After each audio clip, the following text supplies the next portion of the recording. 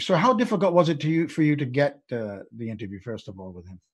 Um, well, I didn't interview him. I just stopped by Well- for a visit. But um, well, last year when I went and visited, I just organized it with him and his lawyer, and it was really simple.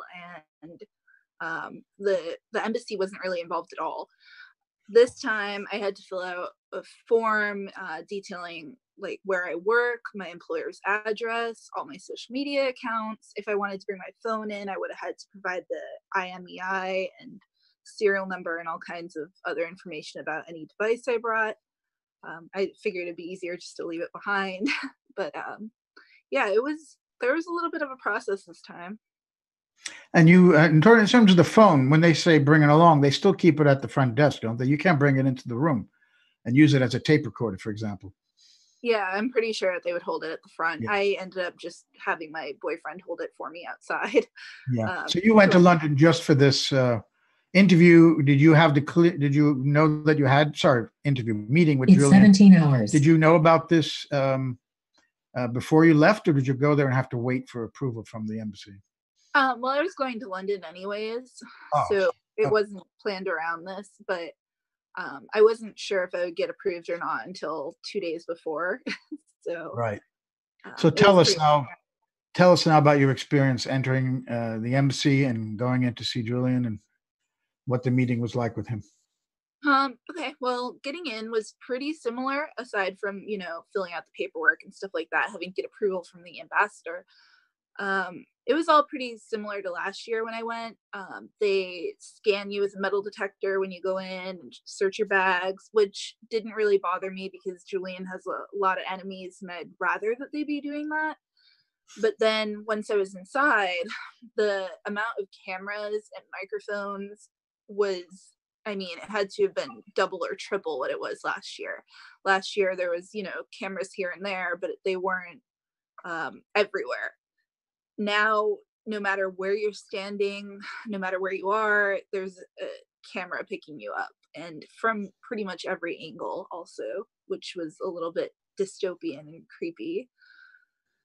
And uh, we tried to go into another room to get some privacy so that we could speak freely. And they came and pounded on the door and they were like, no, you have to go back.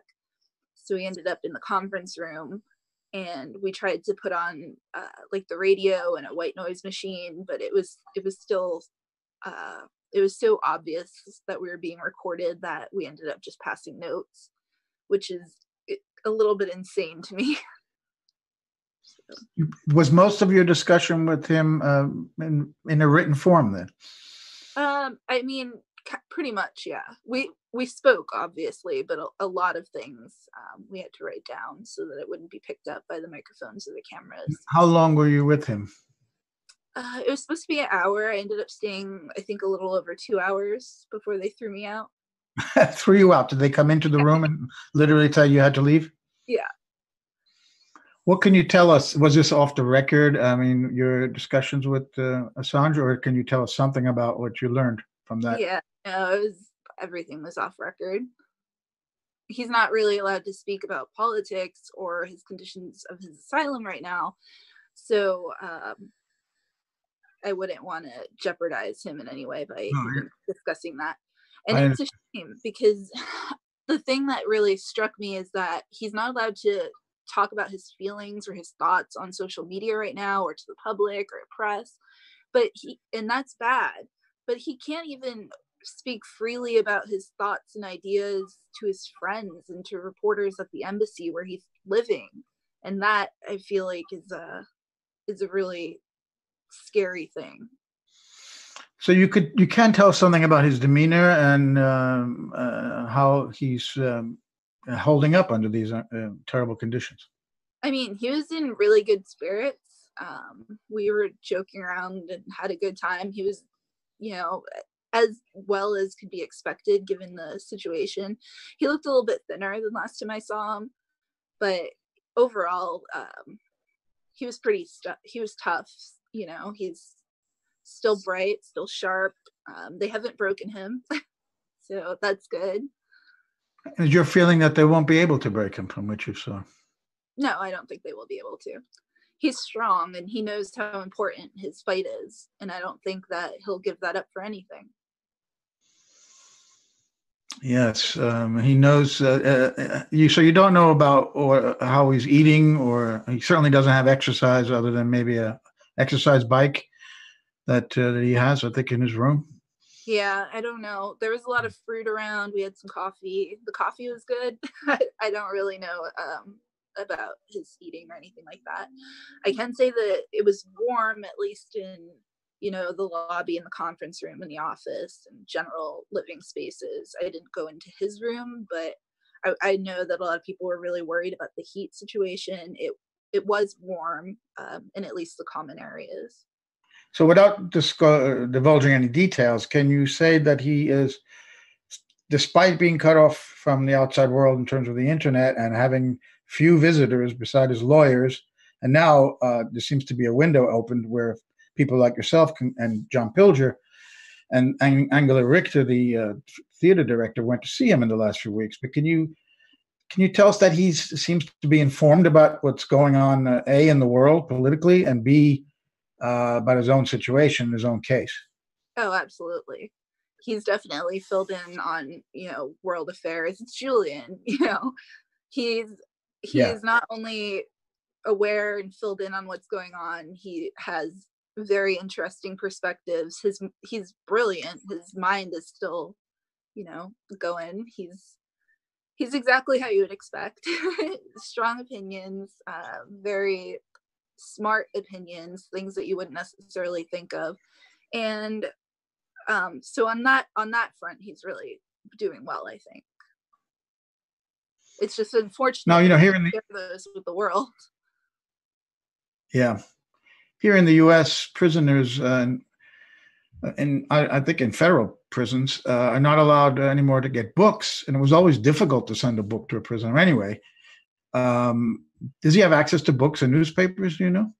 Um, I'm not sure, but I, I would assume so. I think I think he can get books and things and, like and not denying a paper uh, print edition of a newspaper even so he could actually read a paper and get his hands dirty with ink and not have to because he can't go online yeah i think there were papers around there were books around um, he definitely has access to information he just it's more that it's less that they don't want him to know what's going on in the world it's that they don't want him to share his opinions and I think they're succeeding right. on that.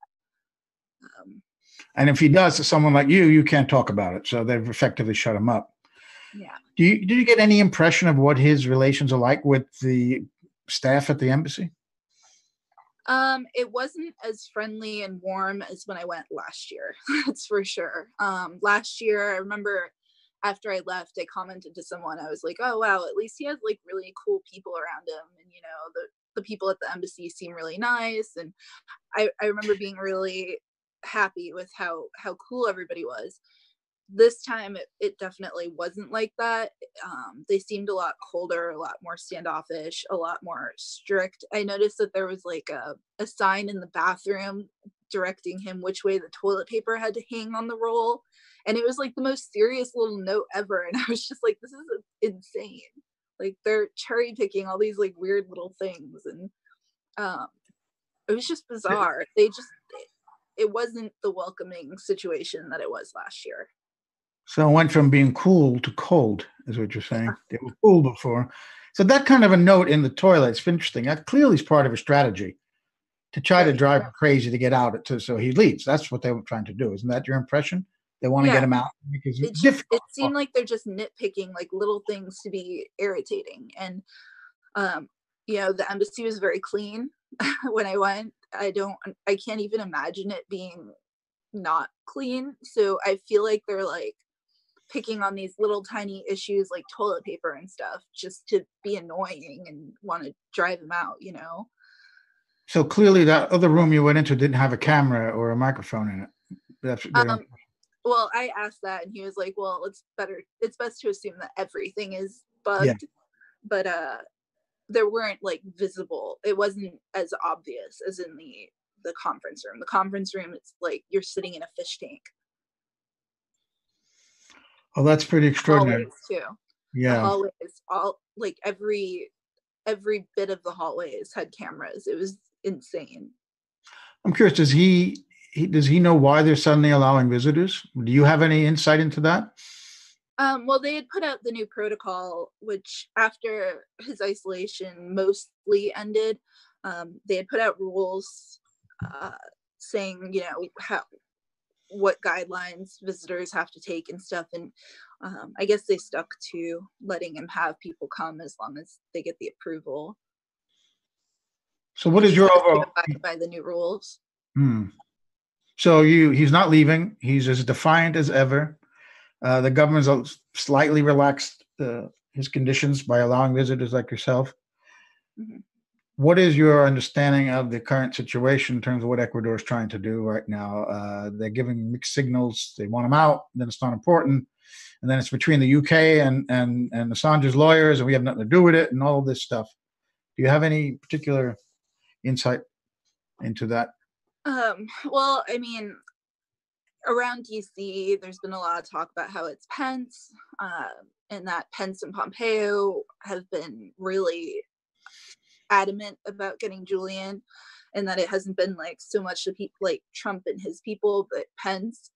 Um, although I think that's kind of just passing the buck, but that's been the most of the talk I've heard around here. And I think Ecuador has some debts and they're looking for a bailout. And the US said, you know, if you don't go after Chevron and you hand us Julian Assange, then we'll be more willing to play ball. Yeah. And I think that they want that money and that they don't the new president doesn't particularly care about Julian Assange. He doesn't care about press freedom the way that their previous president did. And so um, I think he's willing to make a deal with the devil. As American officials don't care about press freedom, mm-hmm. without telling us what he said, if you can, did he, was he aware of what Giuliani said, for example? Uh, is he aware that he's been nominated for the Nobel Peace Prize? It was actually the same day that you were there that the nom- that uh, Mairead uh, Maguire nominated him. So maybe that news hadn't filtered into you either. Uh, I hadn't heard about the the Nobel Peace Prize while I was there, but we, um, you know, th- we did talk about Giuliani a bit. I see Giuliani mm-hmm. really, really frequently because uh, I hang out at Trump Hotel a lot, but uh, and he's always there. Oh, so I had I had spoke to him. Oh, I got to before. Hmm? Yeah. I've got to start hanging out there too now. it sounds like you should. It's that's it's uh, the place to go. Everybody always jokes that I was there once. Everybody jokes there that I'm yeah. the unofficial WikiLeaks lobbyist. As soon as I see like Sarah Sanders or anyone there, I run up with questions about WikiLeaks. I'm kind of a pest, but it's the place. Well, that's good. That's what a reporter should be. Yeah. A good reporter is a pest. Yeah, you have to be able to do that. I was there once. I was turned off by the decor, and then I didn't go back. But that was a mistake on my part. So, oh, you got typical Trump style. Hey, you know. I'll take you. well, I'm sure you'll be there when I go. But yes, let's do that. Well, Cassandra, thanks very much for your time with us today, and it was great that you went to see him. And let's hope that uh, the news gets better. Okay, thank you so if you much. To, if you want to stick around for the discussion, please stick uh, around. But if you have to go, we understand.